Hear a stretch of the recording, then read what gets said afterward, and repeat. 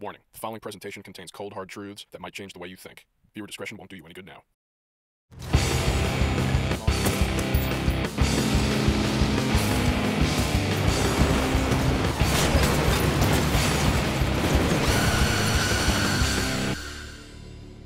Did I tell you to stop? Keep going. I I can't. My heart feels like it's gonna explode. Please. That's the point. Now clean your plate. Jesus Christ. This chick isn't even badass. She's just an ass. It's been over a year since the 10th game in the Ghost Recon franchise was released, and it is quite the far cry from the first Ghost Recon. But this is a series that has always been centered around politically charged action storylines where you play as the Ghosts, a four player US elite special operations tactical unit, usually tasked with taking down ultranationalist, drug cartels, or renegade rebel forces.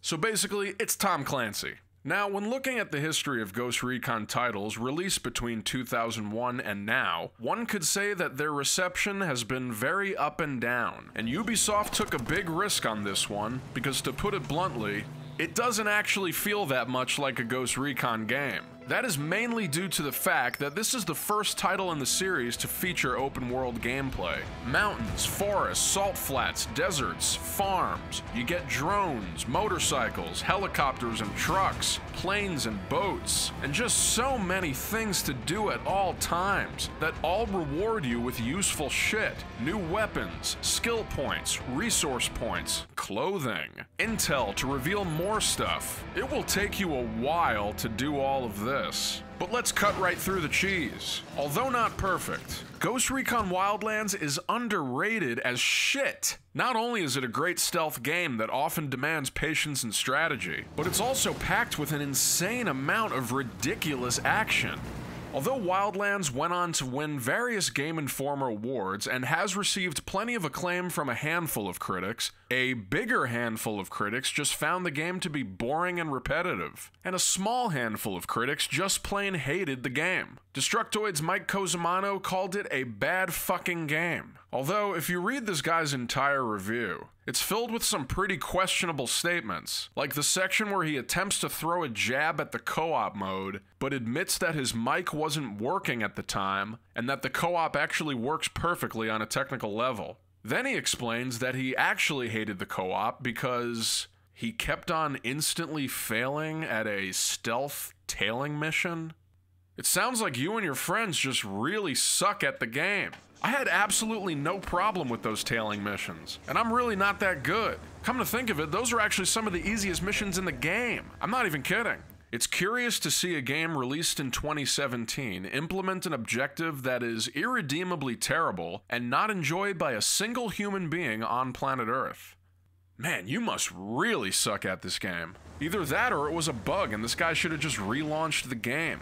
Wildlands is a bad fucking game. It's a bad co op game, it's a bad shooter, it's a bad open world game, and the writing is terrible. Every word of what you just said was wrong. Now, we do have to address the unfortunate elephant in the room. Some people have pointed out that Ghost Recon Wildlands sort of works as pro US intervention propaganda. This game receives some serious flack in general just for depicting the country of Bolivia as some rampant narco state war zone. Wildlands is repugnant for the way it blindly celebrates the many evils wrought on the innocent in these places. You know, I can't really argue with that statement. The US was accused of some horrible human rights violations in the Chapare region during the 1980s, and a study done by the Harvard Review of Latin America found that the US eradication of coca in Bolivia had virtually no effect on drug presence in the US. And what makes this game look even more stupid is the fact that Bolivia had even better luck in counter narcotics efforts by having a president who loves cocaine, but not in the evil drug lord kind of way. In more of an indigenous, spiritual way. Their current president, Evo Morales, is a true Cocalero activist, which is a union of coca growers who resisted the US eradication of coca. So is Ghost Recon Wildlands just one giant propaganda piece against him and his efforts? Hey, this is a video game. It's supposed to be a wacky fantasy world. And come on, it's not that bad. If they hurt her, I'll burn this whole fucking country down to get back at them. Right there with you, man. Alright, I probably wouldn't have gone with that line. Doesn't matter what country we're talking about. But on the other hand, this is Tom Clancy. Most of the stuff this guy wrote was just dripping with pro military Republican nationalism. Oh, Tom, you silly old goat. A surprising amount of people complained that the game didn't spend enough time participating in the culture of Bolivia. You know, this isn't Anthony Bourdain's Parts Unknown. It's a game about shooting. That's it. But I will admit, I wouldn't mind a little more traditional Bolivian music thrown into the mix.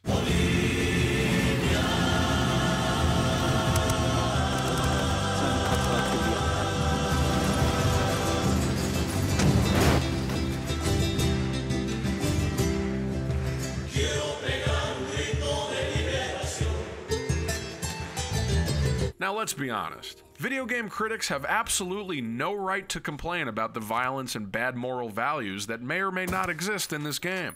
Now you guys decide to have a moral compass? What about when Grand Theft Auto 5 was released? You know, the game that lets you mass murder citizens, hijack airplanes, pick up hookers, murder hookers, murder strippers, smoke meth. How did all the critics feel about that game? Oh, not a single negative review. Not even a single mixed review. Nobody even had a mixed feeling about it. I find that interesting. I mean, I get it. GTA 5 is a masterpiece, and we're allowed to make fun of our country, just not other countries. That's fair, I guess. If anyone asks, this is just a nice patriotic fairy tale about some good old American soldiers stomping out the drug lords and liberating the nice foreign country folk. Sure, the story might feel like something out of Bush Sr.'s wet dream diary, but that doesn't change the fact that this is an amazing game that is so damn fun to play. There's also a disclaimer that says the game has nothing to do with the actual real life Bolivia although this was probably added in after they got all the complaints. And really, when you take in the amount of bullshit the game offers, that statement could not be more true. Now let's finally get to the game itself. First of all, for the amount of people complaining about the long load times in this game, look what it's loading. This gigantic world that the entire game takes place in. There's just one enormous map that makes GTA 5 look like the inside of a bathtub. I really gotta stop comparing this to GTA 5. The two games are nothing alike. Ghost Recon is more fun. But here we have gameplay that is essentially the Phantom Pain on crack and with co-op. You roam the open world being as stealth as possible or just guns blazing as you complete various story missions and side quests while interrogating and abusing lots of people to get intel on the Santa Blanca cartel. When you come upon enemies, you do recon on them, take them out, and loot their entire outpost. You liberate and employ more and more rebel fighters who help you take over each outpost, and they do help. You upgrade skills, upgrade weapons, and do this over and over and over again and so far, after about eight months of playing, it has not gotten old. I sure have, but it hasn't. Although the main focus is to knock out each head of the cartel, you are given a lot of mission variety. You can hijack bank trucks, intimidate sicarios, locate hidden supplies, tag supply trucks, destroy factories and cocaine stocks, destroy coca farms, steal intel, kidnap drug lords, destroy a casino, rescue rebels that will fight on your side, defend outposts, fight predator, steal helicopters, steal planes, Oh my god. Fuck, we just lost the plane. Oh god damn it. Everybody fall back. Oh man, and I embarrassed myself in front of these cows too. Yeah, that's right, you didn't see nothing. You can steal boats, protect important public figures, hack computers, locate hidden underground tunnels, locate dead people, and my personal favorite.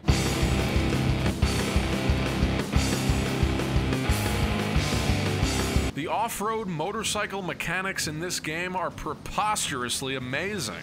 This is just absurd. You know, I think these might be my favorite motorcycle riding mechanics I've ever seen in any game. And you know why? Because you land every jump. You don't even have to look where you're going. Now that's motorcycle riding.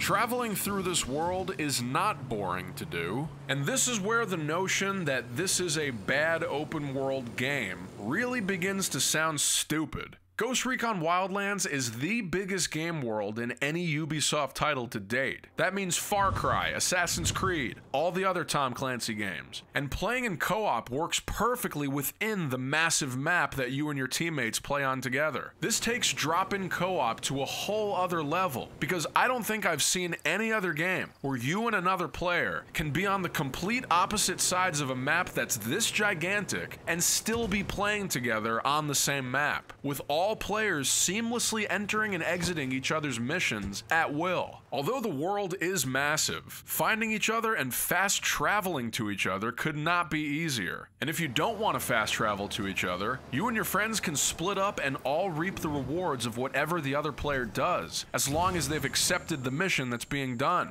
These are the things that a lot of MMOs and open world co op games tend to screw up or make very tedious. Sharing quests with each other, finding each other, and just playing with each other in general. no Man's Sky. Here, all you have to do is select a mission, and it will automatically ask the other players if they want to join. And they always can. Even if one player hasn't yet unlocked a certain mission, they can still do it if the other player does have it unlocked. And actually get credit for it, too.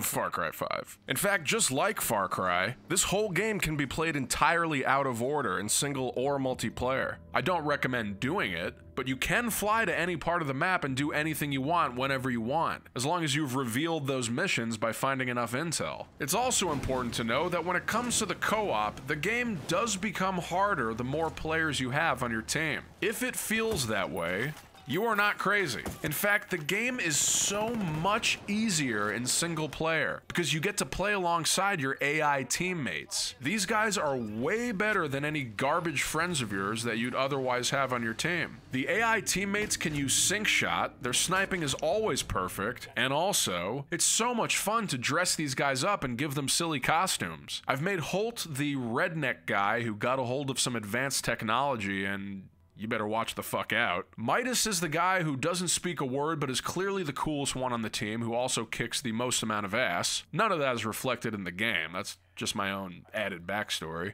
And Weaver is. uh. a guy.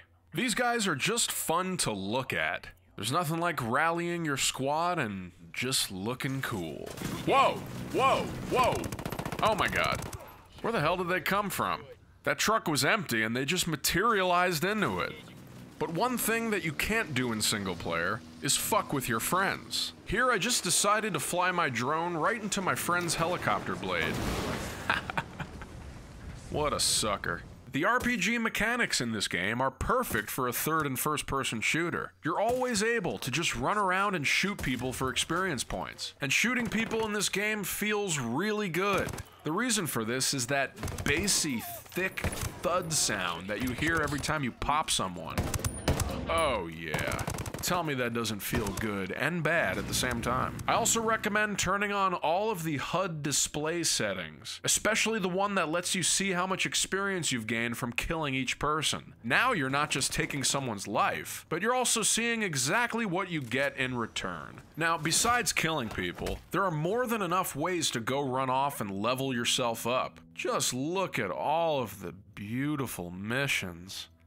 What is a vagina. Can you tell me what that is? Because I'm really starting to forget what one looks like. I think this game is so addictive because you can easily just keep bouncing along from mission to mission, exploring the map and constantly picking shit up. I mean, it is constant. You find one thing, then you find something else right after that. Then a mission is beaten. Then you reveal another mission. Then something else pops up. There is no such thing as a dull moment in this game. Look at this. I barely have any time to get to this radio tower. I accidentally crash my helicopter into the tower. I manage to survive the crash. I get ambushed by enemies. I manage to take them out and reach the control panel with only 7 seconds to spare. The game is filled with moments like this. The end game progression system is actually more fun than the main one. When you do reach tier mode, every time you level up brings you new rewards. You can also upgrade weapons now. Tier mode also eventually forces you to play in harder difficulties, but you can always turn it off and go back to an easier difficulty. Something that might please people who didn't like The Division is the fact that with the exception of the Predator, there aren't any bullet sponge enemies in this game. No matter how high of a level you reach, the enemy's defenses will never be artificially leveled to necessitate grinding. Now, I personally think the graphics in this game are pretty goddamn good. Sure, there are texture pop ins and yada yada, who gives a shit? You might see some scaling back on detail here and there, but if you just stop moving and let the pixels settle, oh man.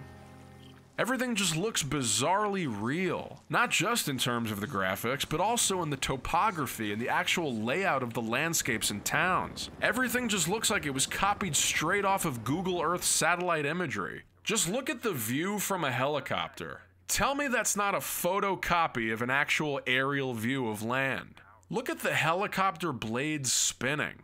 I mean, really? The realism also reflects in the gameplay itself. The lighting in this game plays a huge factor in trying to stay hidden. Being under a shadow actually makes you less visible to enemies, and being under broad daylight is actually like asking to be shot. But the singular thing that truly sold me on the gameplay of Wildlands was the skill system and upgrades that you have at your disposal, with particular notice to the flying of a drone all over the place to do recon. It's like the little RC car from Rainbow Six, only 4 billion times better. If you are not taking advantage of the drone, you are not even playing this game. You're on your couch holding the controller with the TV off, and you're just sitting there. The drone is essential. The first thing I do whenever I get to an enemy infested area is get down on the ground and hide, deploy the drone, and start tagging enemies. This right here will definitely be among my all time favorite video game pastimes. Just zipping around in this drone and marking enemies. I know I say that things never get old a lot, but hey,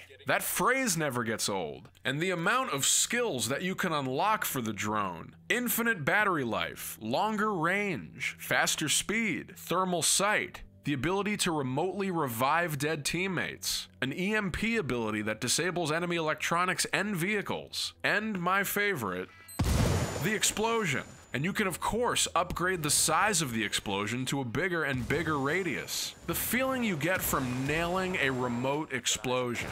It's like you're having your own little remote explosion, if you know what I mean. You can even fly it into buildings and see exactly where important items are hidden. But there is nothing more fun than flying this drone around.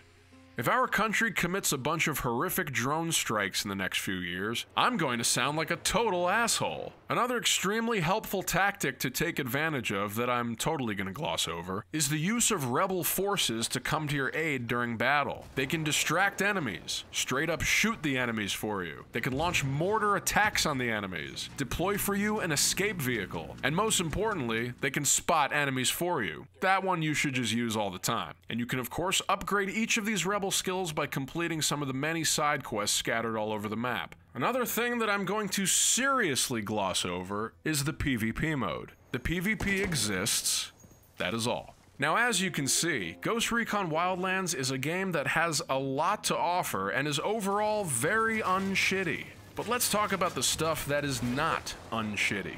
Shooting from cars is not great. It's completely unstabilized and also a little nauseating, whereas shooting on foot is really smooth and noticeably easier. Shooting from helicopters is even less great. You have no aim range, you can't see what the pilot sees, and the pilot must be facing away from the enemies entirely in order for the gunner to see them. I get that it's more realistic, but hey, it fucking sucks. What can I tell you? When you are shooting from a helicopter's gun, it takes weirdly long to hit a person. I mean, look, I have a Gatling gun right on this guy for like six seconds and I'm somehow missing. I don't love that. The game also has its fair share of really silly bugs. Here I'm just minding my own business, and then I suddenly fall through the ground, revealing this salvia like nightmare where I actually fall to my death. It hasn't happened that many times, but like with Salvia, I choose not to revisit it. Another really annoying bug is the Watchman mission failed pop up that just keeps going and going and going. This one has happened a little more than several times. That's just cute. Or how about this bug that happens when you use the rebels to spot a location? Sometimes the white circle just stays there. And since it's this game, when I first saw this, I thought that someone had just sprayed a bunch of cocaine across the landscape. But nah, just a bug. But the one thing we can all agree on is that the biggest, most universal offender in this game is the story. Sometimes, and I think about the bad things we do for the good of our country. Travel overseas, take some lives, ruin others. And I'd do it all again. In a heartbeat. Just no. No, no, no, and no. I wonder if God knew all the destruction that this little leaf would bring, would she have still created it? Or maybe that's exactly why she did. Ugh. I'm all for saying that God is a woman, but the way it's just thrown in there like that, multiple times in a row. I mean, what is the point of trying to be feminist in this game? This is such a testosterone ridden gaming experience that for some reason has this external appendage of a storyline that revolves around a singular female character who is never once physically present during actual gameplay. She just talks to you via walkie the whole time. She doesn't even have a sprite on the gameplay map. You don't see her fly by in a chopper and wave hello. Nothing. She just exists as this entity that only manifests in cutscenes, which all take place inside a shack that I can say without spoiling anything. So you really never see her leave the shack at all. That I can say without spoiling anything. But that's really it. Other than that, this is one of my favorite games I have ever played. Yeah, I am not joking. It is that fun. To all the critics who ragged on this game and said it contained boring ass missions, I think that just means your testicles have shriveled to the size of raisins, and you have lost all semblance of up and down. The game is not perfect, but can you name a more fun co op open world RPG shooter that's also co op open world and an RPG? And has sniping? Right now, I would say the Tom Clancy franchise has got that subgenre by the balls. The Division was phenomenal, and although very different, Wildlands does kind of feel like a step up from that. To say that hopes are high for the Division 2 would be the understatement of the millennium. I think we can all agree when we say please don't cancel that game. Please cancel the Jake Gyllenhaal Division movie instead. Not a single fan would rather time and effort be poured into that than a sequel to the game. And we're talking about one of my all time favorite actors. But rest in peace, Tom Clancy. Thank you for selling your name to Ubisoft for an undisclosed sum and allowing for all these minorly underrated games to be produced. And everyone else, Yankee motherfucker, Yankee motherfucker, Yankee motherfucker. Gringo! Yankee motherfucker, Yankee motherfucker, Yankee motherfucker.